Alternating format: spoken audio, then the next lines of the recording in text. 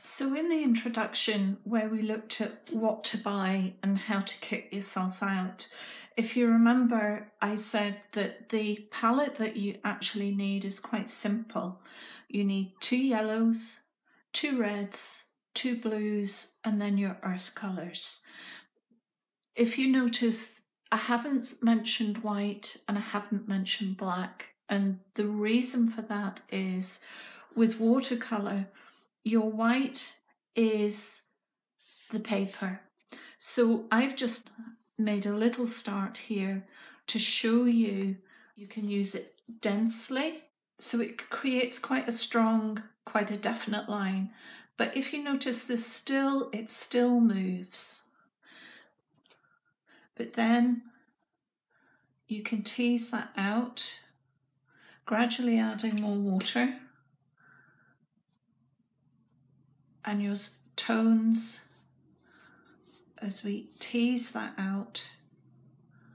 If you notice there are, there are no brush marks, it's the it's the pigment travels in the water and that creates your your tone. Uh, a deep tone or a light tone. So with watercolor, you work from your light tones and by overlapping you come to your deeper tones. Um, let me see if I can show you. There.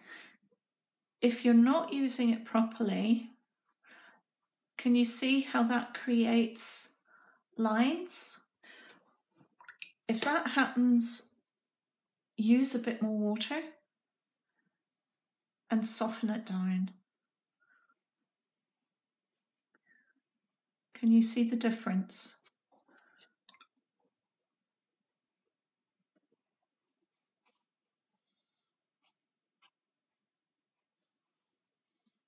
And you can lift it off. If it's too thick or too heavy, you can actually lift it off.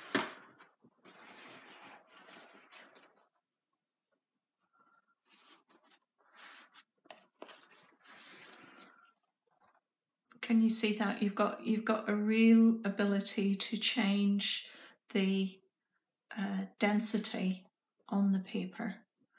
Um, so what I suggest you do to start with, don't worry about what colours you use, just go for one you like and maybe just have a practice at what colours mixed together make what and just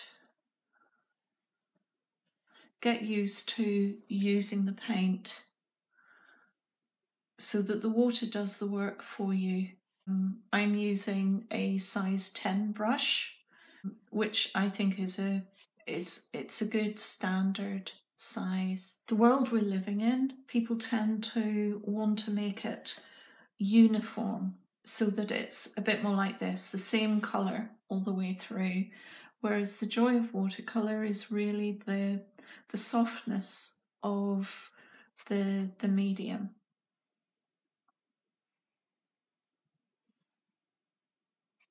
So, what I suggest you do is just play and get used to the paint moving on the page. I think people are often quite frightened by the water, by the amount of water, um, but it will allow you to work in shape. Can you see that? How it's very easy to work in an area of shape.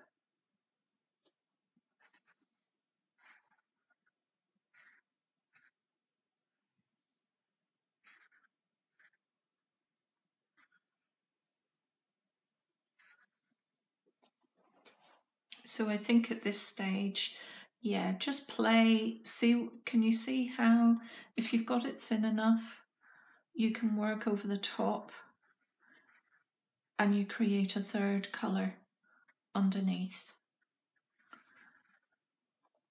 So that there's an interplay. Can you see see that? That's just using two colours uh, just mixed together.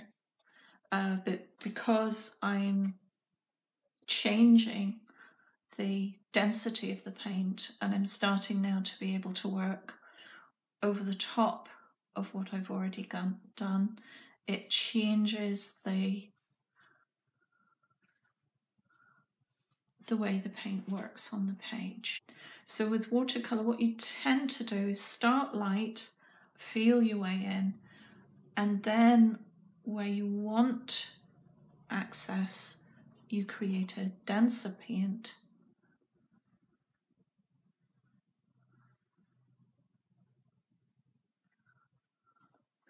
And this is really what I would suggest you do for your first step is don't worry about the colours, we're going to come on to that, but just get used to using the paint correctly, really, for watercolour.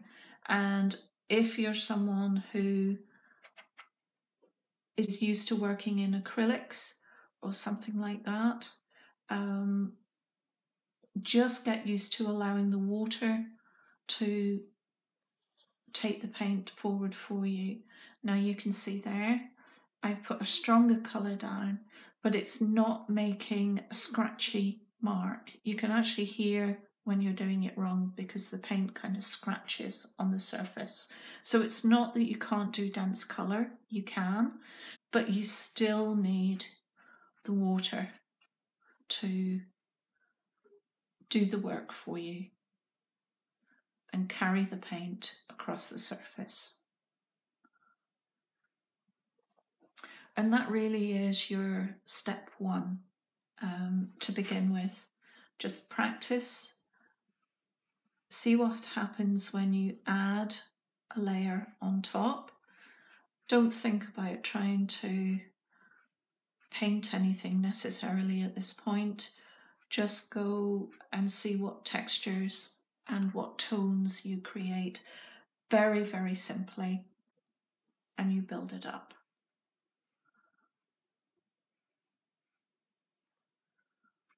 a lot of people don't spend enough time on this step, uh, but it is the knack of watercolour. Watercolour has a lovely uh, transparency to it, and if you work too much over the top, you lose that too quickly.